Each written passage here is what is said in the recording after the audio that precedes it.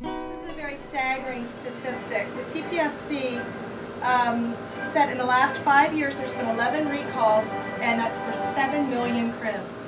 So 7 million cribs have been recalled in the last five years.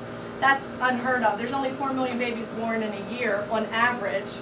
So even if every single baby uh, bought a new crib, which they don't, you only you only sell about two million cribs, one one and a half to two, because they're passed down and, and used again. That's almost every crib that's been pr produced has been recalled. Thank God we haven't had one, but lots of people have. Here's another horrible statistic. The CPSC announced that 32 deaths um, have been involved in those five in the last five years, and it's primarily due to drop side gates. Um, and what a drop side gate, my gates don't drop. We stopped making drop side gates a couple of years back, but it's just for the crib. It only lowers four inches. And people, this is a good selling point. People think that they're missing something, but truly it's just four inches. And you can make that difference up by moving the mattress support. Um, the mattress support raises, it, ours do in three different places. So um, you're not really losing anything.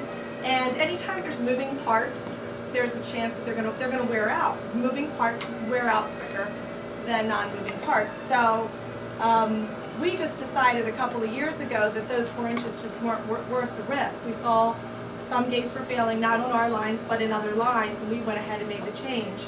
Last year or yesterday, um, we were at a meeting in New Jersey for the JPMA, and the JPMA is the Juvenile Products Manufacturing Association, and that's where um, I don't know if you're a member, but anybody, a lot of people that manufacture for kids are part of this organization.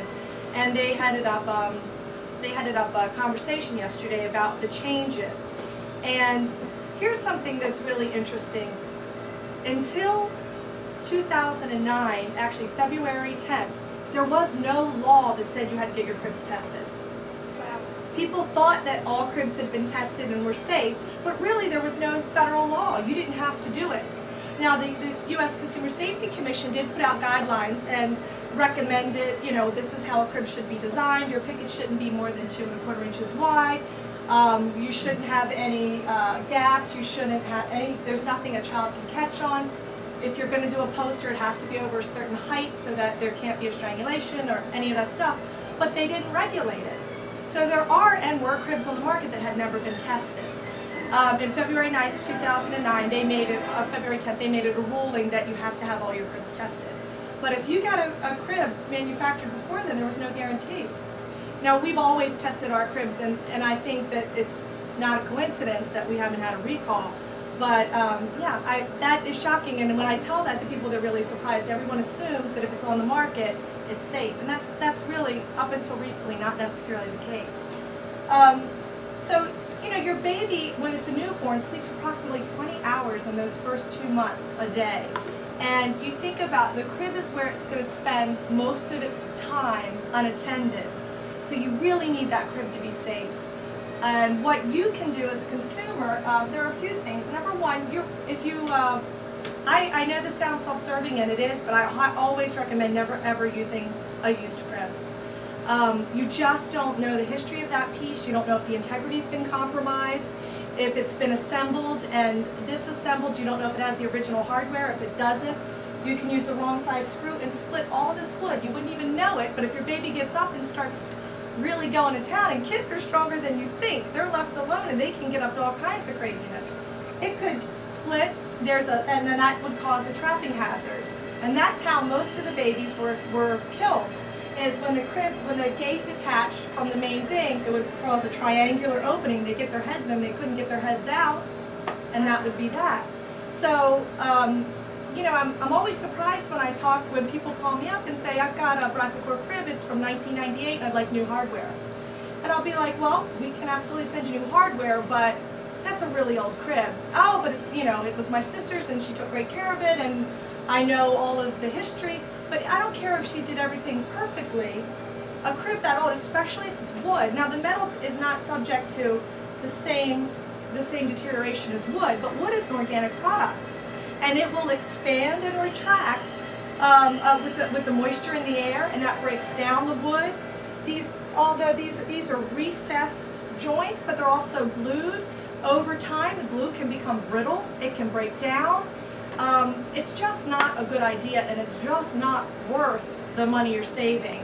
I think it's always really important, if, if money is an issue, don't, don't save money on the crib. You know, you can buy, you can buy used other things, but definitely not your crib because your baby's in here and you're not with that child and you just don't want to take any risks.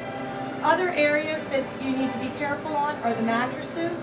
Um, there's a standard crib dimension that is regulated by the U.S. Consumer Safety Commission, and the mattresses are, are, are made to fit that. But every there's a little bit of play in all mattresses and, and cribs. For example, if you look at the picket density on the iron versus the wood, they're not exactly the same, so the same mattress isn't going to fit exactly the same. So the rule of thumb is if you can put really, really easily See, I'm, I'm not, this isn't easy, I'm touchy. If you can put your fingers between the mattress and the pickets and there's space, you're not touching, then it's too wide. You need a different mattress. And the best way to be sure is just call up the manufacturer of the crib and say, what, what mattress do you recommend for your designs? Um, all the information is on the U.S. Consumer Safety Commission. It's cpsc.gov's website. Um, just be very, very vigilant about the cribs you buy. Make sure that you know they're safe. Uh, the JPMA used to be a really great insurance because if it had the JPMA seal, then you knew it had been tested. Um, but many of the cribs recalled were JPMA certified. So, uh, you know, it, it is a layer of insurance, but it's not a, it's, it's not a guarantee.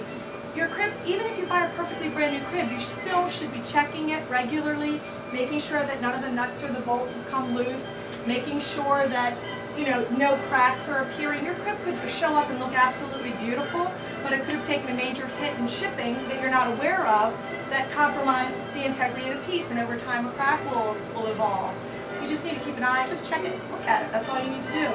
Move the mattress as your child grows. When it's a newborn, it should be in the highest position. You don't have to break your back getting it. And then as your child grows, you lower the mattress so they can't fall out when they're standing up.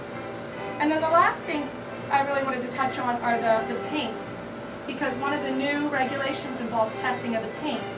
Um, again, until very recently, there were no tests.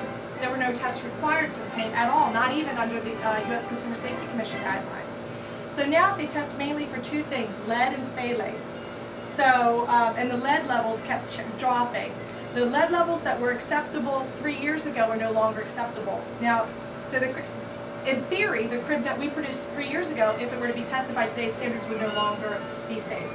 So we've dropped the levels. Um, every crib company should be able to produce for you, and we're going to make it available on our website. Um, all the test results for every production. And you'll look at the production line. You need, you should have test results available.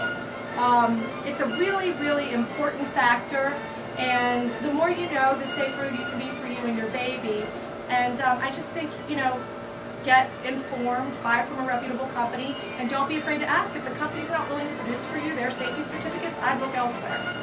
Um, you know, that's really all I have to say. Anybody have any questions on the subject? Or? Where are your cribs manufactured? My, my wood cribs are manufactured in Vietnam and my iron's done in China.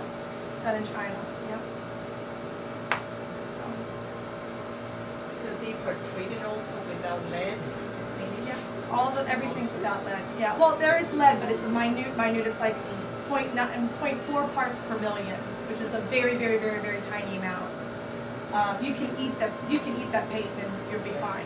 And it's good because kids do eat the paint. Oh yes. I get a lot of parents calling up saying, "My child just ate the crib, and there's paint all over her face. Yeah. What's going to happen?" I'm like, "They're going to have paint over their face, but it's completely safe. Oh, Put a teething rail on." Get them along, they're beavers, I don't know, but you know. yeah, but that's one thing about the iron. They don't bite the iron. It's not bite friendly. They can't sink into it like they can wood, so yeah. we never have that on the iron. That's interesting. Yeah. Never buy a secondhand crib, especially at a yard sale. When people tell me that, I start to panic. It's like, you have no idea what's happened to that crib. Megan used to work in a, in a daycare center, and she said that they would actually shake the cribs to put the babies to sleep. My head spun around. like, you're, you're destroying the crib. Okay. And they, you know, and they were cheap cribs anyway, so even scarier. It's amazing. Yeah.